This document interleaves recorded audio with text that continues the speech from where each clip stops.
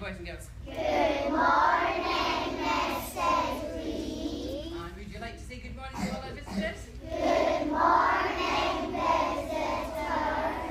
Now, this morning you'll have guessed it's the turn of primary ones to do their assembly, so I'm going to hand over to them just shortly.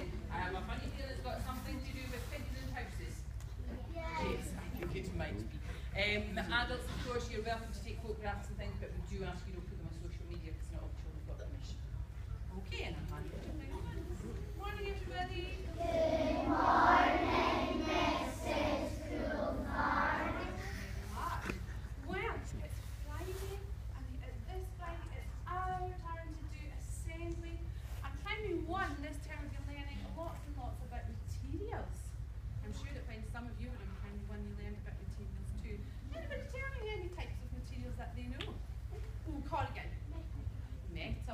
learning about.